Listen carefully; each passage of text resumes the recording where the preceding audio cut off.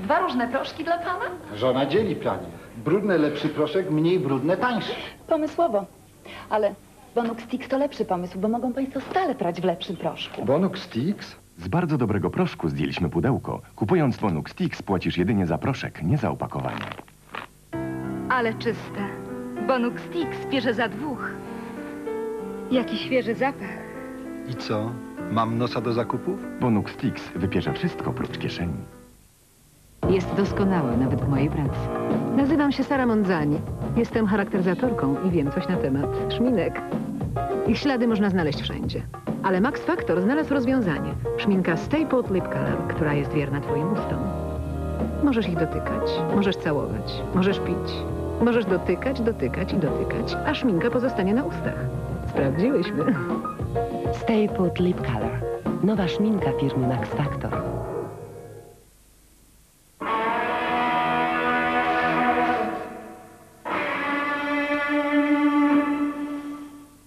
Co krok to szok! Lajona przybywa, kasy nie ubywa.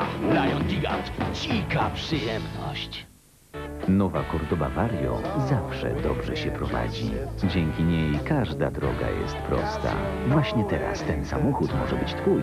I dwuosobowa wycieczka do Hiszpanii. Nie marnuje się takiej okazji. Seat zaprasza. Dni otwarte od 24 do 26 kwietnia. Zapraszamy.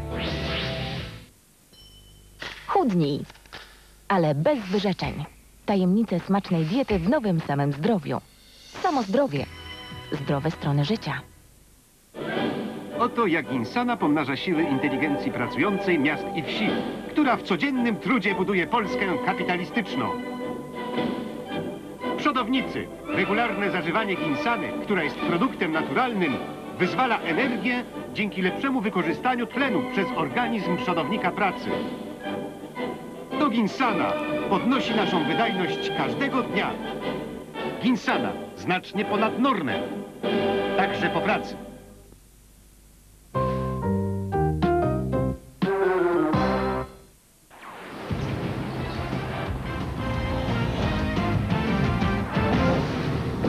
Arnold Schwarzenegger jako superpolicjant Jack Slater w walce z wszechwładną mafią Los Angeles. Wspólnie z 11-letnim fanem filmów akcji stworzą duet, który stawi czoło najgroźniejszym przestępcom. A wszystko za sprawą magicznego biletu do kina. Bohater ostatniej akcji. Efektowne eksplozje, zapierające dech w piersiach pościgi i strzelaniny. Świat wielkiej przygody.